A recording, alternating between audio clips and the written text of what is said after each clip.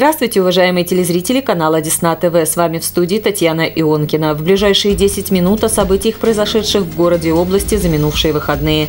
Коротко о том, что сегодня в выпуске. Христос воскресе!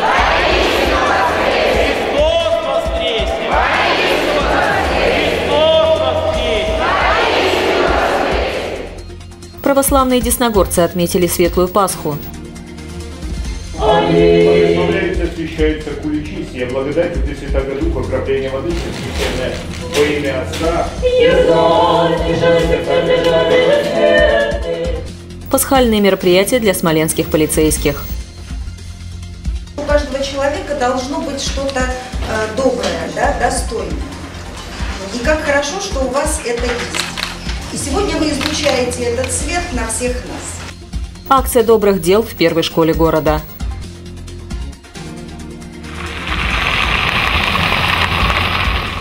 Сводка криминальной обстановки в городе.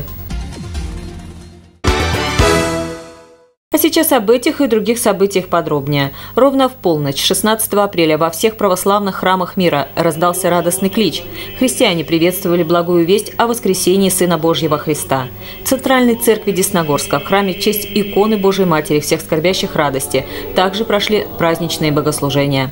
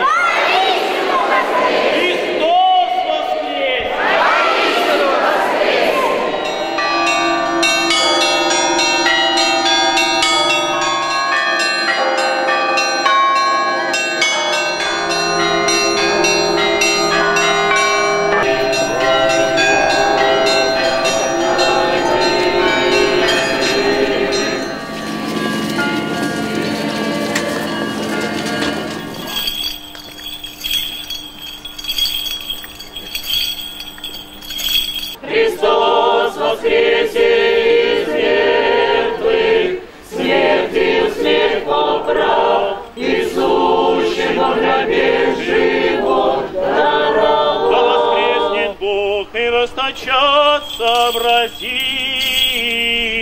Его. Христос воскресе!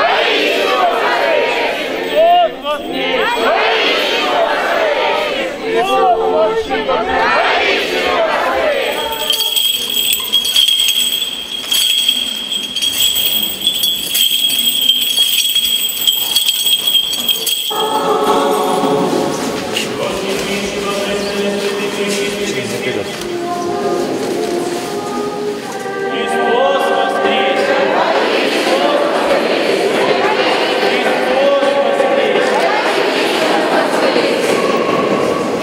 воскресе!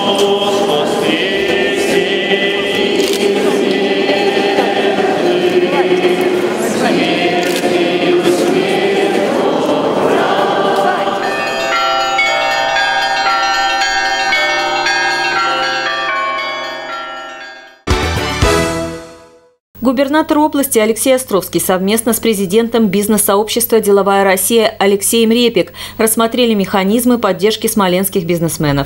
Они коснулись вопросов охраны труда, мер социальной поддержки, технологического присоединения к электросетям, а также закупки сельхозтехники. «Деловая Россия» – это Всероссийский союз предпринимателей, который занимается развитием субъектов малого и среднего бизнеса, созданием наиболее благоприятных условий для инвестиционной деятельности и развития конкуренции. Сейчас в Смоленском отделении «Деловой России» состоит 48 человек.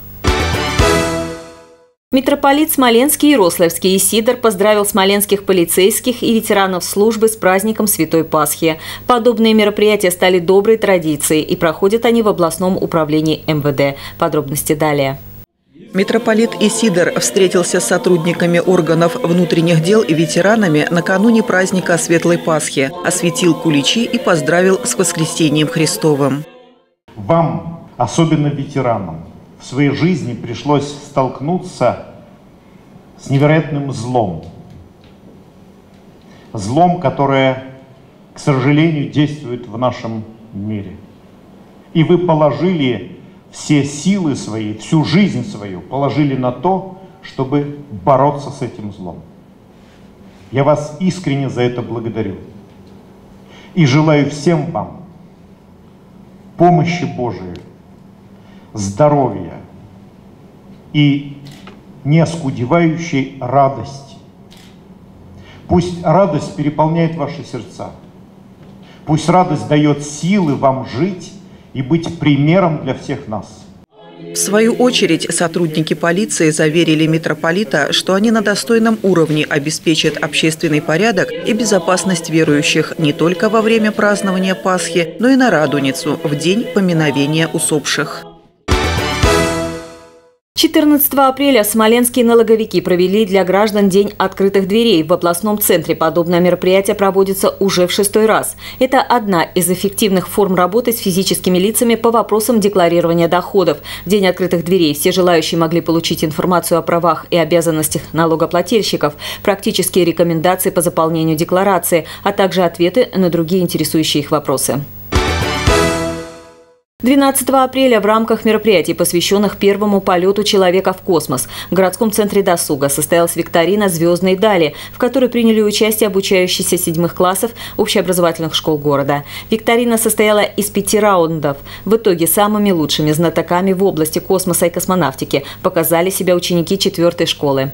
На втором месте ребята второй школы, а третье место разделили команды первой и третьей школ города. Все участники получили грамоты и сладкие призы.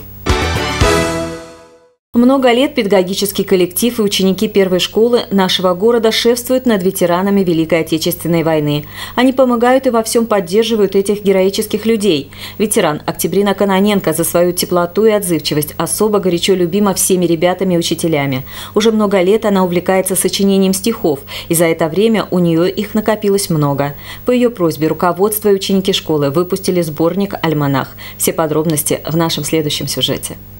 12 апреля состоялась презентация сборника стихов. На такое значимое событие были приглашены почетные гости, представители администрации города, ученики и просто друзья Октябрины Андреевны. В этот день звучало много теплых слов и в адрес автора стихов, и в адрес тех, кто помог в осуществлении мечты ветерана. Спасибо большое руководству первой школы, что они этот замысел осуществили, издали этот альманах, и теперь многие наши граждане, многие жители Десногорска смогут воистину насладиться теми словами, которые Октябрина Андреевна всем нам донесла из своего сердца. Над изданием сборника трудились воспитанники школьного творческого клуба «Росток», руководитель Наталья Лесная. Мы отбирали стихи, читали, удивлялись многим стихам. Работали над дизайном сборника. Конечно, работа получилась скромная.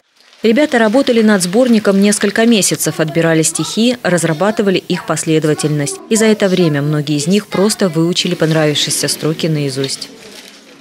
Прошло 34 года. Это очень много. И вот Олимпийские игры у российского порога.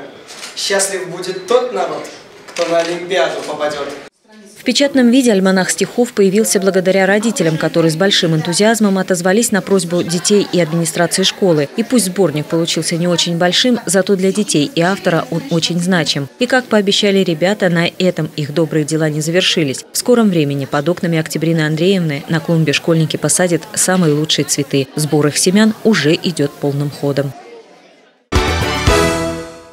Минтранс и Общероссийский народный фронт открыли голосование для водителей и владельцев большегрузов на сайте проекта «Карта убитых дорог», которая будет действовать 7 недель. Грузоперевозчики смогут самостоятельно определять проблемные участки федеральных трасс. Позже их отремонтируют за счет средств, собранных с помощью системы «Платон». Свое мнение уже высказали более 99 тысяч человек. Почти половина из них пожаловались на проблемные участки городских автотрасс, более трети на дороге между городами, еще около 20% на сельские дороги.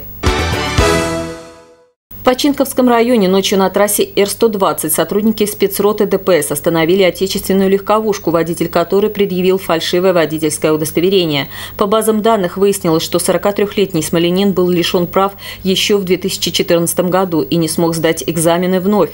Поэтому просто купил липовое поддельное удостоверение на вымышленную фамилию. За это ему теперь грозит арест на срок до 6 месяцев. Полицейские продолжают устанавливать обстоятельства страшного дорожно-транспортного происшествия на улице маршала Еременко, которое произошло в Смоленске 13 апреля. В результате лобового столкновения Audi Q3 и Renault Logan пострадал мужчина и мальчик. Ребенок в тяжелом состоянии госпитализирован в реанимационное отделение детской областной клинической больницы. В отношении нарушителя, который управлял автомобилем без прав и в алкогольном опьянении, составлено около 10 административных материалов. В данный момент виновник ДТП арестован на 5 суток. О том, что произошло у нас в городе за минувшую неделю, нам расскажет майор полиции Романова.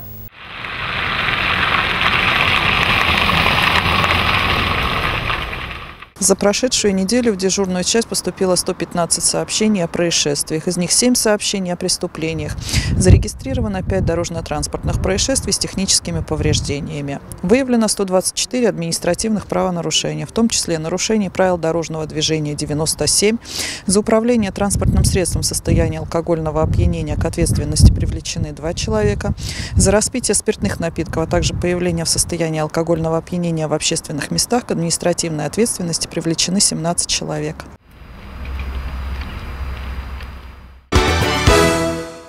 В областном центре побывал автопробег. Его участники направляются из Москвы в Европу. Они посетят Польшу, Германию и другие страны. На объезде в областной центр гостей встретили офицеры военной академии. Они вместе спели несколько фронтовых песен и передали армейские сухпайки, которые пригодятся в долгой дороге участникам автопробега.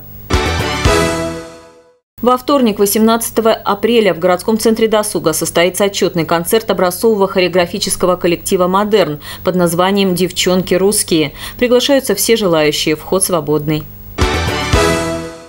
Это все, о чем мы хотели рассказать вам сегодня. С этими и другими новостями вы можете ознакомиться на сайте нашего телеканала desnadefistova.ru. Также мы ждем ваших предложений и актуальных тем для новостей. Спасибо за внимание. До свидания.